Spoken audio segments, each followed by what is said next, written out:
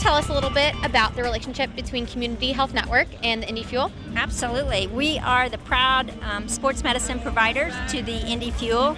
We're proud to be able to provide athletic trainer and team physicians for the Fuel through their practices and games, keeping them uh, healthy and out on the ice and playing effectively um, for the team.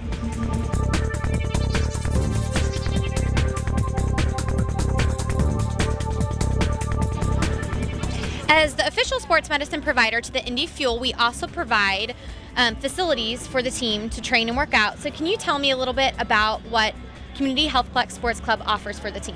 We're very proud to have the Indy Fuel with us, and what we provide is a place for them to come and work out and to play, and to really perfect the game by you know doing an, a, a complete workout for both cardio and strength.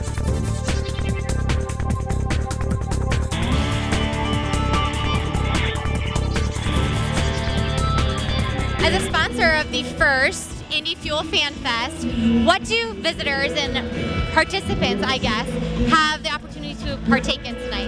We've got a lot going on tonight. We've got our Health Healthplex over there giving out information about their facility and all of the classes and services that they offer.